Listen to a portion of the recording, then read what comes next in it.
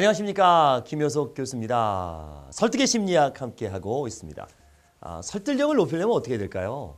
음, 상대와 함께 공감을 형성하는 친분을 형성하는 호감을 받는 것이 중요하겠죠. 이 동감, 교감, 정신감이라 그러는데요. 이걸 이제 라포르라고 합니다. 이 라포르란 구체적인 의도가 아, 계획 없이도 서로의 마음이 통하는 것, 정신 감응을 얘기합니다. 라포르를 먼저 형성한다면 그 다음에 설득은 식은 죽 먹기가 되는데요.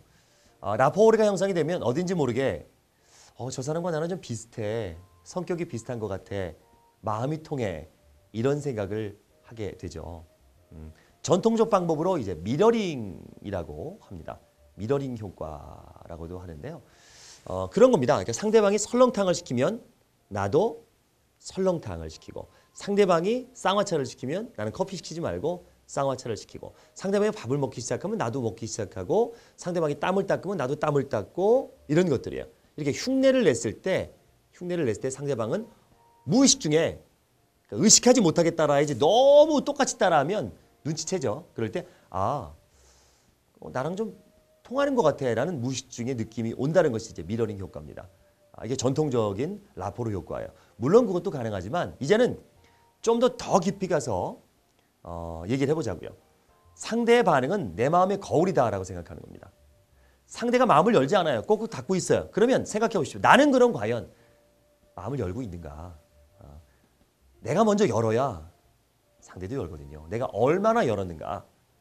그러니까 그 전에 고객을 만나기 전에 누군가를 처음 만나기 전에 이 사람을 만날 때 내 마음은 열려 있다고 끊임없이 마인드 컨트롤하는 겁니다. 하다못해 나를 속이는 거예요. 나는 이 사람이 좋아. 나는 이 사람이 좋아. 어, 이 사람은 정말 좋은 사람이야. 나를 좋아할 거야. 이런 것을 자기를 속이는 작업, 마인드 컨트롤 끊임없이 하면 내 마음이 열립니다. 내 마음이 열리면 어떻게 된다?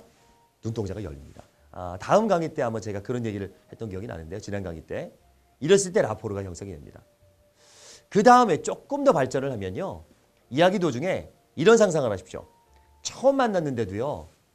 이 사람에게 어깨를 이렇게 우리 친한 친구는 어깨 동무하고 얘기 나누잖아요. 옆에서 이렇게 딱. 뭐 애인도 그렇고 사랑하는 애인하고 이렇게 어깨를 탁 잡으면 교감이 되지 않습니까? 그러니까 아, 이 사람과 내가 나는 이 사람 어깨에 손을 얹고 이야기를 하고 있다라는 생각을 하는 겁니다. 어, 그러니까 뭐 구체적으로 상상하는 것보다는 그런 느낌, 느낌만 갖고 그러면 훨씬 내 마음이 편해지고요. 마음이 열려요.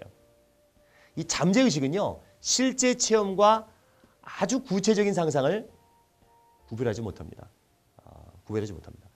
이 라포르는 그래서 내가 먼저 상상하고 마음을 열었을 때 형성이 되는 겁니다. 또 라포르는요. 상대의 눈을 바라봐야 시작이 됩니다. 눈도 보지 않는 상태에서 어떻게 교감이 됩니까? 만나는데 아, 예, 안녕하십니까? 예, 반갑습니다. 예, 어, 예, 어떻게 어떻게 되시나요?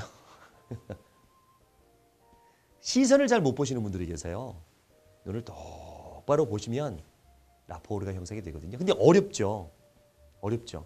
어, 어렵죠. 그럼 좋은 방법을 하나 알려드릴까요? 제가 사람에게는 의식의 세계와 무의식의 세계가 있습니다. 방향이 있어요. 그러니까 왼쪽이 의식이고 오른쪽이 무의식인 사람은 만약에 무의식적으로 전단지를 주면 무의식적으로 받아요. 어.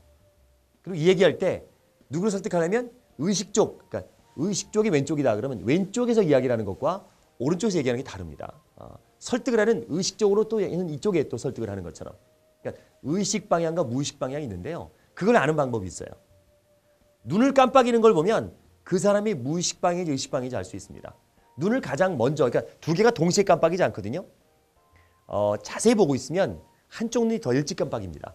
더 빨리 닫혀요. 그쪽이 의식이고요. 늦게 닫히는 게 무의식입니다. 그러면 무의식 방향을 느끼게 되면 어, 그 사람을 설득할 때 의식적으로 얘기하고 갑자기 전단지 줄 때는 무의식적으로 이런 그 화법들이 어, 방법들이 되죠. 그러니까 상대방을 볼 때 한번 이렇게 보면서 어느 눈을 깜빡이 먼저 깜빡이는지 확인하신다면 훨씬 무의식을 찾아낸다면 훨씬 공포가 덜할 겁니다. 근데 재밌는 건요. 그런 생각을 갖고 눈동자를 보잖아요. 하나도 안 떨립니다. 하나도 안 떨립니다. 그 무의식과 의식이 맞건 틀리던 간에 내가 떨리지 않고 상대방의 눈을 볼수 있다는 것만으로도 큰 도움이 되실 겁니다. 자, 라포르는요. 내가 먼저 마음을 열고 나를 설득하고 상상하고 눈을 봤을 때 형성됩니다.